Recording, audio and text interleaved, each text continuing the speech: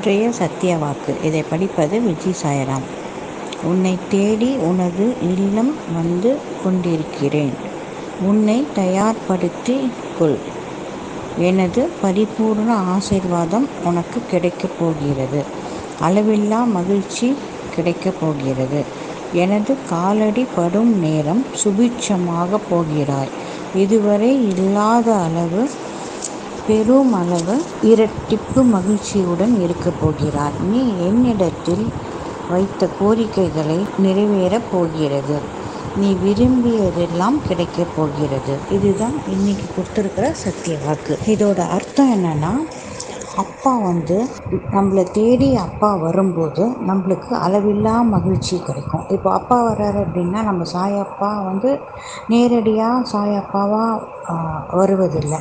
So மனித ரூபத்தில் so அந்த மாதிரி தான் இப்போ வந்து சாயப்பா வந்து காட்சி தருவார். ஸோ அப்போ வந்து நம்ம இப்போது நம் நம்மளோட வீட்டுக்கு வந்து ஒருத்தர் வராரு அப்படின்னு சொன்னால் வந்துட்டு கொஞ்சம் எனக்கு தண்ணி கொடுமா சாப்பாடு கொடுமா அப்படின்னு சொல்லி கேட்குறாரு அப்படின்னா அது கண்டிப்பாக அது வந்து சாயப்பாவாக நம்ம அவங்கள நினச்சி பண்ணும்போது அது வந்து சாயப்பாவாக தான் அவங்க அவங்க வந்து வருவாங்க.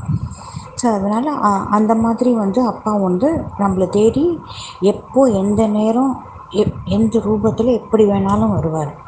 ஸோ நம்ம அதை வந்து அலட்சியப்படுத்தக்கூடாது. ஸோ அந்த நேரம் நம்மளுக்கு இப்போது ஒருத்தர் வந்து நம் அந்த நேரம் வராரு அப்படின்னு சொன்னால் நம்ம வீட்டுக்கு அன்னிலேருந்து நம்ம வீட்டில் வந்து சுபிட்சந்தான் வீடு முழுக்க மகிழ்ச்சியாக இருக்கும். இருக்கிற எல்லா பிரச்சனைகளும் தொலைஞ்சு போயிடும். இருக்காது நம்மளுக்கு. அதே மாதிரி நம்ம ஒரு கோரிக்கையெல்லாம் வச்சுருப்போம்.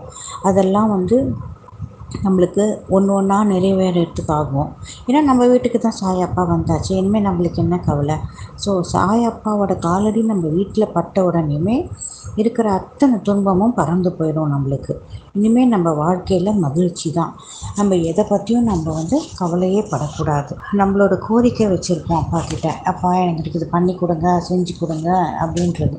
ஸோ அது எல்லாமே நம்மளுக்கு ஆட்டோமேட்டிக்காக நிறைவேற போகுது. ஏன்னா நம்மளை நம்ம ரொம்ப நாளாக கூப்பிட்டுருந்த சாயப்பா நம்மளையும் அறியாமல் நம்மளை தேடி வரும்போது நம்மளுக்கு என்ன கவலை இருக்க போகுதோ வாழ்க்கையில் கவலைன்றதே இருக்காது. அதெல்லாம் நிமிஷ நாளைக்கு நம்மளுக்கு போயிடும். ஸோ அதனால் இதுதான் எனக்கு இன்றைக்கி அப்பா கொடுத்துருக்குற சத்திய வாக்கு.